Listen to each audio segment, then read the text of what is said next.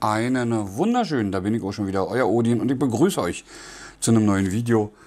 Ähm, ich habe gerade Odin mal Shoppen gemacht. Ich habe hier von Gosund so eine Dreier Steckdosenleiste geholt. Die werden wir jetzt mal auspacken. Ich habe sie noch nicht ausgepackt. So. Da ist sie schon. Mit einer Bedienungsanleitung. Ja, die GoZone App brauche ich nicht. Also da steht drin, dass ihr die App braucht und über die App einstellt und hast nicht gesehen. Brauche ich nicht. Da ich GoZone App ja schon drauf habe. So. Oh, der Kabel ist schön dick. Das gefällt mir sehr gut. So. Oh, schön lang. Also inne. Also ich kann meine Hände ausstrecken. Ich fasse jetzt ganz normal die Steckdose an, kann meine Hände ausstrecken. Das ist gut. So, dann haben wir hier noch so Schutzdinger drauf. Die können wir jetzt abmachen. So. Ein Hauptschalter, kleine Schalter. USB hat keinen Schalter. Wir können es auch an die Wand machen. Also wir haben auch Wandhalterung, also Löcher für eine. Hm? Und hier haben wir dann praktisch den Hauptschalter für an und aus. Und hier an der Seite bei jeder Steckdose ist halt auch ein Schalter, USB nicht. So. Ich werde euch mal ein Stück rüber holen. Ja, damit ihr seht, was ich mache. Ich werde jetzt erstmal den Stecker reinstecken. Wartet mal, ich mache mal schnell vielleicht doch das zusätzliche Licht an.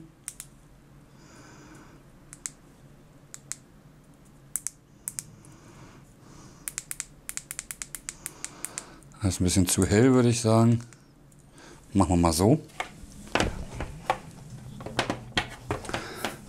Hoppala.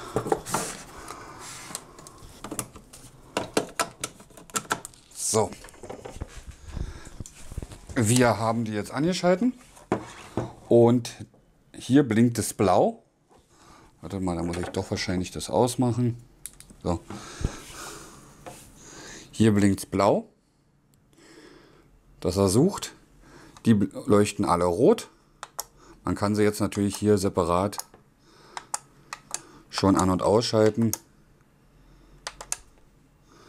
So, aber wir wollen die jetzt erstmal verbinden.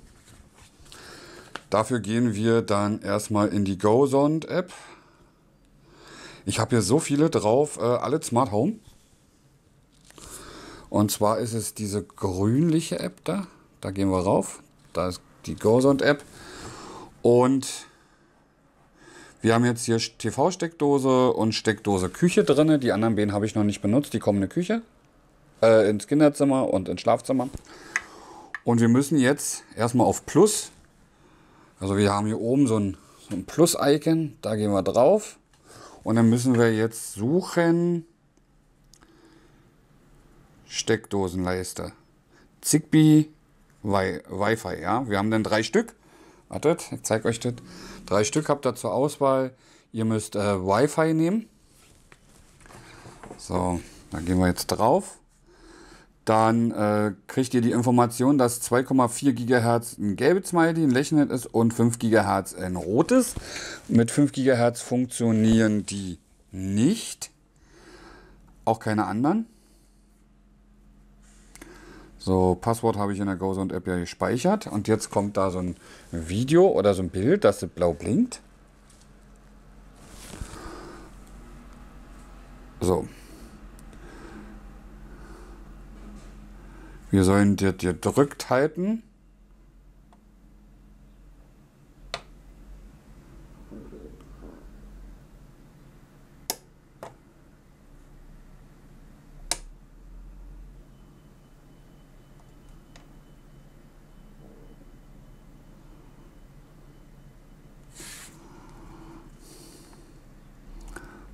Achso, der blinkt ja sowieso schon schnell. Jetzt sucht er.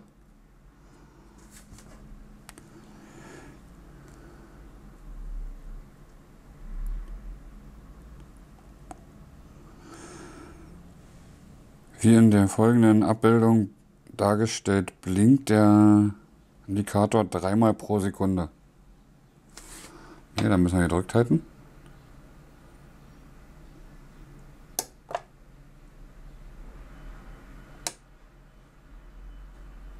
So, jetzt.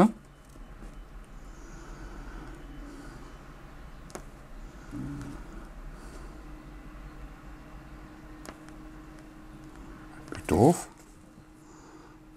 Warte mal, ich muss nochmal abbrechen. Habe ich das Falsche genommen?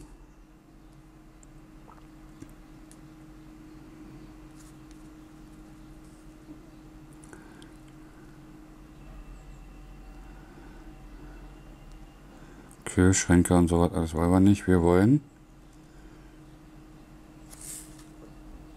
Steckdosenleiste. Zack.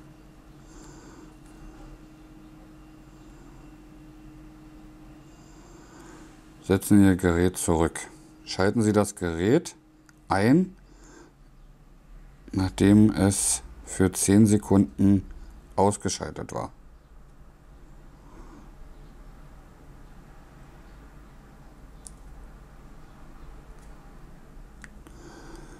Drücken und halten Sie die Reset-Taste 5 Sekunden lang gedrückt, bis es blinkt. Blinkt doch schon.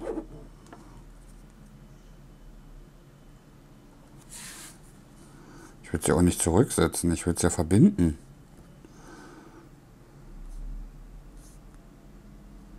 Zulassen oder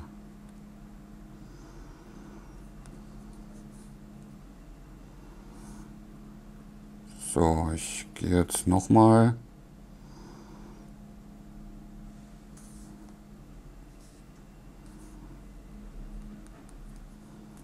So, plus.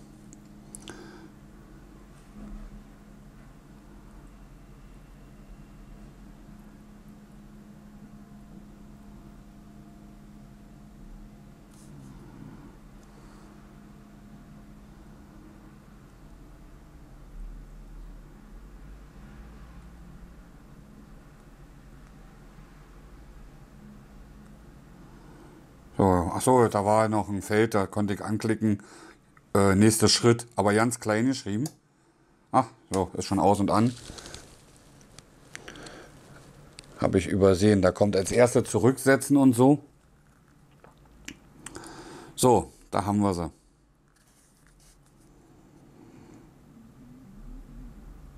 Und die nennen wir jetzt einfach mal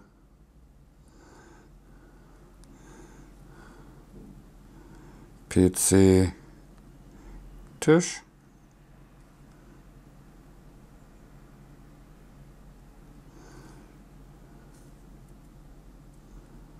PC-Tisch.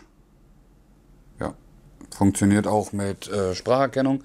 Das habe ich in einigen Apps schon gehabt, dass es nicht funktioniert hat. So, im Wohnzimmer haben wir die festlegen. So, jetzt packt er sie ins Wohnzimmer dazu. Und jetzt haben, sind wir auf der Steckdosenleiste. Wir können die komplett ausschalten.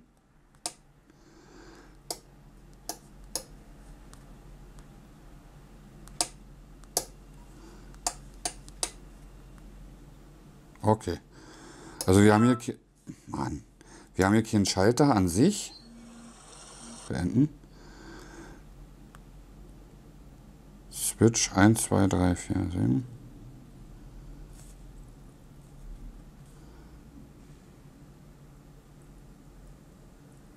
Countdown. Achso, wir können so ja Countdown setzen, wie lange die an sein soll oder wann, von wann bis wann. Wir können auch sehen, wie viel Strom da jetzt durchgeht. Jetzt gerade nichts, ist klar, aber äh, wie viel Strom gehen, durchgehen würde. Super ist geil. Und wir haben das dann halt praktisch so. Und dann können wir die halt. Da. Ah, Mensch. USB an, USB aus.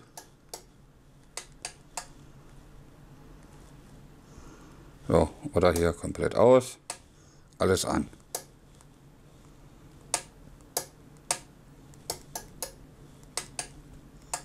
Und es funktioniert auch sehr schnell, zügig. Wir können die jetzt auch umbenennen. Also wenn wir dann hier einfach drauf gehen, ähm, neben der Steckdose, ja, da drauf drücken, können wir die so umbenennen. Da werde ich dann wahrscheinlich äh, Monitor nennen, PC nennen und PC-Ladestation oder irgend sowas. Wir können ja hier mal mit USB versuchen, aber ja. So, die ist jetzt auf jeden Fall da. Wir werden, ich werde das mal einfach gucken. Also, so, die erste, ich nenne die jetzt schon mal so, wie sie denn später heißen sollen. Das macht sich dann wesentlich leichter. PC.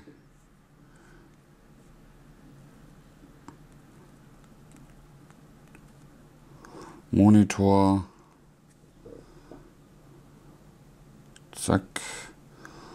Und den unteren Ladestation. Nee, Quatsch, Ladestation habe ich schon.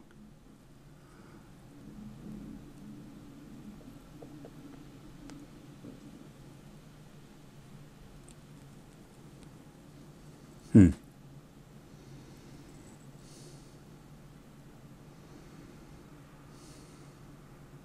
Ist ja keine Ladestation.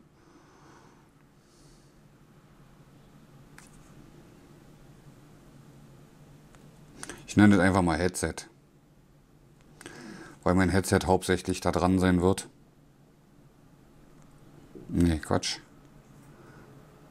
Das ist ja das untere. Nee, doch, Headset. Ich nenne das Headset. Und Switch 7 nenne ich USB. Mit USB hat Alexa immer so ein bisschen Probleme gehabt. So, und dann habe ich die jetzt hier so benannt, wie sie heißen sollen. Jetzt gehe ich einfach in die Alexa-App. In Alexa gehe ich auf, ich muss jetzt aufpassen mit dem A-Wort, so ich gehe dann da halt darauf, auf mehr und gehe dann, nee, ich bin zu weit, Moment, Moment, ich muss auf Geräte, also da, davor, Geräte, und dann gehe ich hier ganz rüber und sage, auf alle Geräte gehe ich immer rauf. Und dann sage ich Plus. Also oben haben wir hier so ein Pluszeichen und dann sage ich neues Gerät hinzufügen. Gerät hinzufügen. Jetzt fragt er welches. Ich sage einfach Steckdose. Äh, gucken wir, ob hier Ground mit bei ist. Meros ist mit bei schon. Ground. Ach, Ground ist ja schon mit bei. So, die nehmen wir jetzt. Und dann sagen wir Scan. Und jetzt scannt Alexa praktisch das Netzwerk oder beziehungsweise die, den Skill. Der verbindet sich mit der App, die ich auf dem Handy habe und prüft in der App nach, hat, hopp, hat der Odin da ein neues Gerät. Dauert ein bisschen. So im Schnitt um die 45 Sekunden dauert es.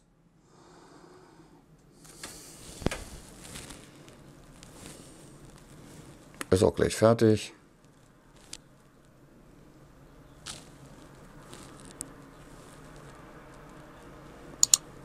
Der Akku blinkt auch schon von der Kamera. So, da. Kein neues Gerät gefunden.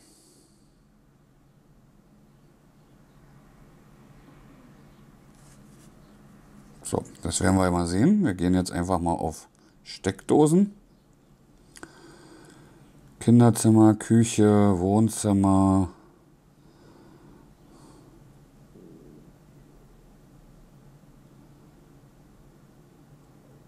Ne, PC-Tisch. Also der hat, der hat zwar gesagt, nee, dass es nicht, äh, dass kein neues Gerät gefunden wurde, aber ich habe PC-Tisch. Das ist die Steckdose an sich, die komplette Steckdose. Ja, die ist da. Die kann ich hier auch ausmachen. Oder ich kann hier... Ja,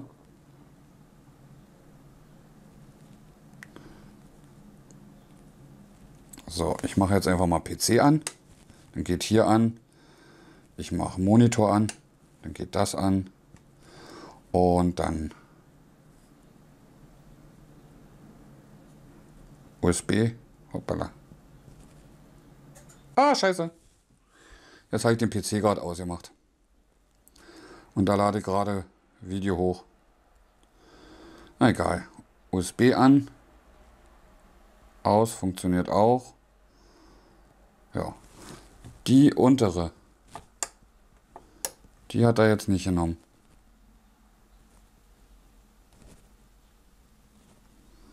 Die hat er jetzt nicht gefunden. Warum auch immer. Da müssen wir nochmal in der App gucken. Headset habe ich die genannt.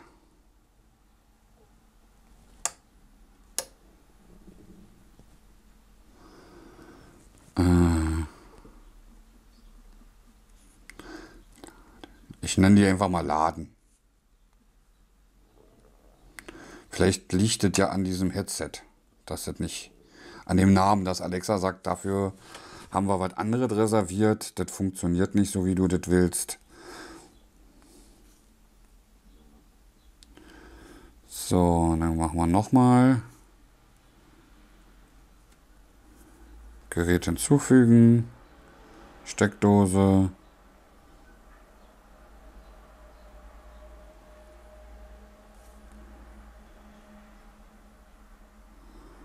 So, jetzt müssen wir wieder 45 Sekunden warten. In der Zeit werde ich mal schnell den Akku wechseln. Der blinkt nämlich auf wie doll und verrückt. So, er hat mir jetzt wieder gesagt, hier sind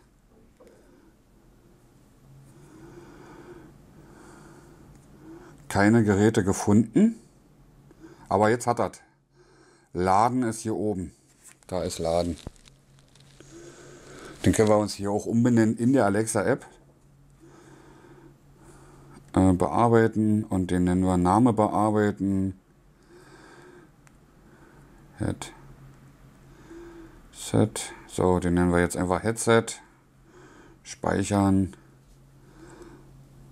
So. Und somit haben wir jetzt auch Headset hier drinne.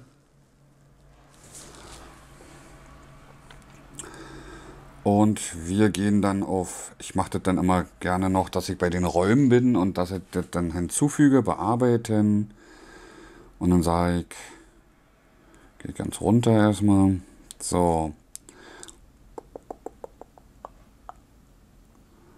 So, USB will ich dazu haben. TV-Steckdose ist woanders dran. Steckdose 1, Soundbar, Schrank, PC-Tisch ist die Hauptsteckdose, PC, Monitor und Headset brauchen wir noch. Was wir uns in Headset umbenannt haben, da haben wir es. Speichern.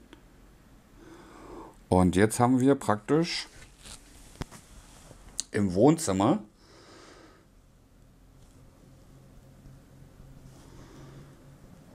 Hier unten seht ihr schon ein bisschen, äh, da ist jetzt USB und so. Also mein Wohnzimmer kann ich euch mal zeigen. Das sind alle Geräte und teilweise Sachen, die halt im Wohnzimmer drin sind. So, und jetzt können wir auch testen. Ich warne euch vor. Ich werde das A-Wort jetzt öfters sagen. So. Ich werde das jetzt mal so machen und das Licht aus. Oder ne, lieber so machen wir. So, dann seht ihr das. Ich zoome euch mal ran, dass ihr das rote Licht seht. Dass, ich hoffe, ihr könnt es erkennen. Hier, das Ich hoffe, man kann es sehen. Ich habe ja nur einen kleinen Bildschirm. So. Wir können es auch hier, wie gesagt, komplett ausschalten. Alexa, PC-Tisch an. So, jetzt sind natürlich alle an. Alexa, PC aus. Alexa, Monitor aus. Alexa, Headset aus. Alexa, Headset aus. Alexa, USB aus. Alexa, USB aus. Ja, das will er wieder nicht. Ich versuche es mal über die App. So.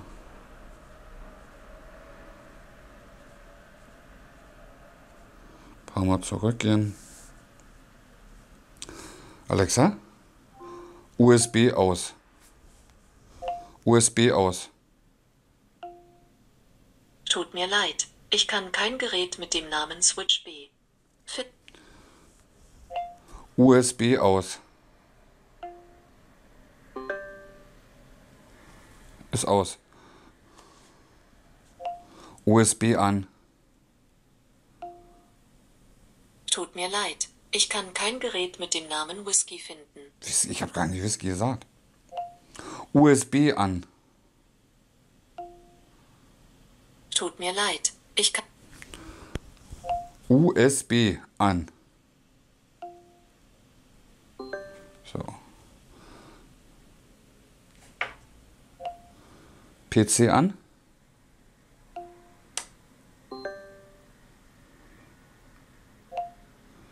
Monitor an.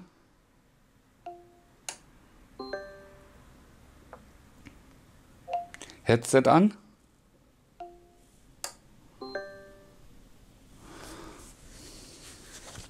Alexa, PC-Tisch aus.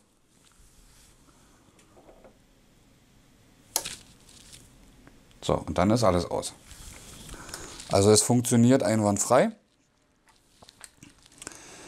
Auch hier haben wir jetzt die Möglichkeit, praktisch die ganze Steckdose an- und auszuschalten über Alexa. Google, äh, Google Assistant funktioniert auch.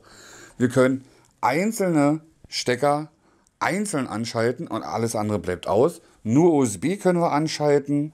Ja, ähm, aber USB, bei mir hat sie da mal ein bisschen Probleme. Auch nicht, nicht nur hier, auch bei den anderen hat, äh, hat Alexa so ein bisschen Probleme. Vielleicht weil ich ein bisschen nuschel. Wir können es auch separat an- und ausschalten. Also wir sind da jetzt nicht. Wir können das jetzt nicht nur über Amazon oder Google benutzen. Wir können das auch ganz normal benutzen und sind zukunftssicher.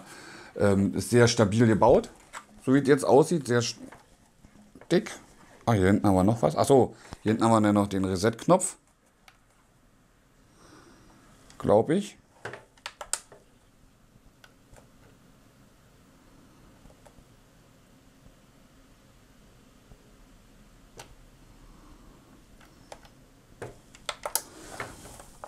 Da muss ich jetzt wirklich mal nachlesen, was das ist.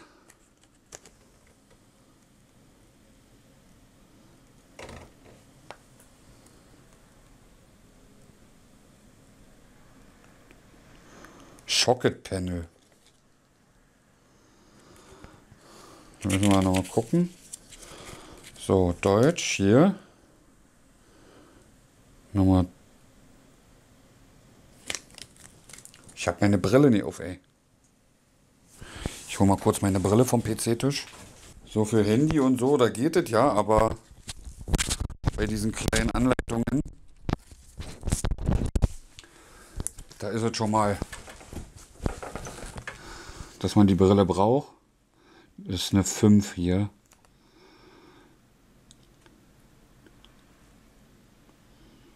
Ach, Leitungsschutzschalter ist das. Okay.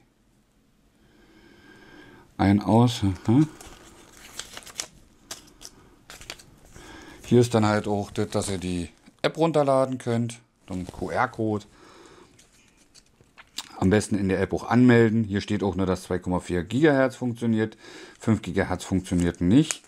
Ich hoffe, dass in Zukunft irgendwann mal auf 5 GHz, ach hier ist auch genau erklärt, welche Steckdose, also die Wi-Fi, also wirklich für Dummies, was ich dann drücken muss. Ja, und da ist der Fehler bei mir passiert, dass ich da diese kleine Schrift da nicht gesehen habe zum Überspringen. Also ist wirklich alles erklärt, auch wie er das mit Alexa wieder kombiniert und so was alles. Also da seid ihr auf der sicheren Seite. Alles erklärt. So. Dann kann ich den Karton wegschmeißen. Den brauche ich nicht mehr. Nachbarn freuen sich. Ich mache den Pappcontainer wieder voll. Ach so, habe ich ja gerade gar nicht gesehen. Hier steht dann halt auch äh, Google und Alexa.